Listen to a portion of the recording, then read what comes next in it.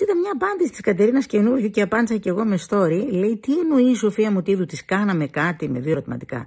Την ενόχλησε κάτι στη φωτό, ένα ερωτηματικό. Γυναική αλληλεγγύη σου λέει μετά, τρία ερωτηματικά. Αλήθεια, τρία προσωπικά. Δεν καταλαβαίνω. Καλό βράδυ.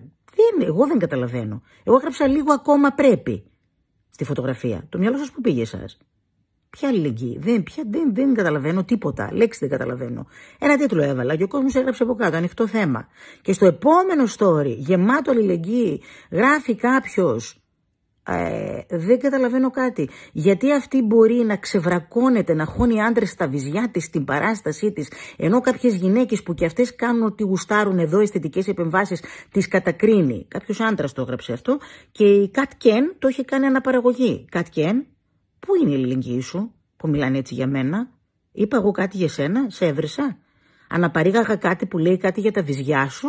Μ; Είπα κάτι. Πού είναι η γυναικεία σου αλληλεγγύη κάθε μέρα το μεσημέρι που θάβεις ένα κάρο κόσμο, χιλιάδες πρότυπα πάχους. Μ; Πού είναι; Πού είναι που όποιον θέλεις πιάνεις στο στόμα σου; Και τώρα θύχτηκες από, από τι; Από τι; Από πού να το πάρεις. Αισθητικά, νομικά, ιατρικά. Από τι; Στο λίγο ακόμα πρέπει.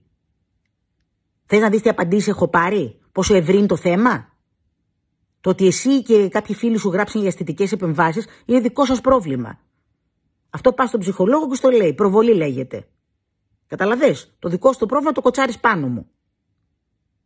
Αλλά έχουμε μάθει το support girls να είναι μόνο support για τις παπάντζες. Για την ουσία support girl does not exist. Να σας τα πήγε μια χαμηλοκόλα πόντια.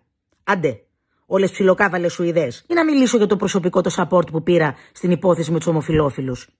Κατ Κεν, που με ήξερες και από πρώτο χέρι, μ; και ήξερες τι άνθρωπος και τι παιδί είμαι, και τις προθέσεις μου. Εύκολα βάζετε το λιθαράκι σας για να πείτε ένα φτιαράκι κάθε μέρα για κάποιον.